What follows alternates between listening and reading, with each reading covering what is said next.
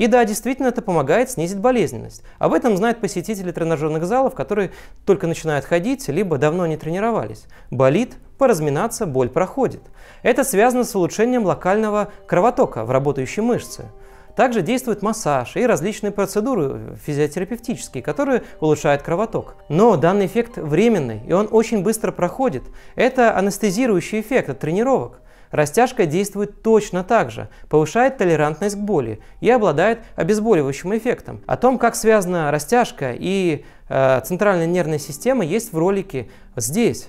Там я рассказываю о том, как боль связана с растяжкой и почему на самом деле мышцы не растягиваются так, как принято считать.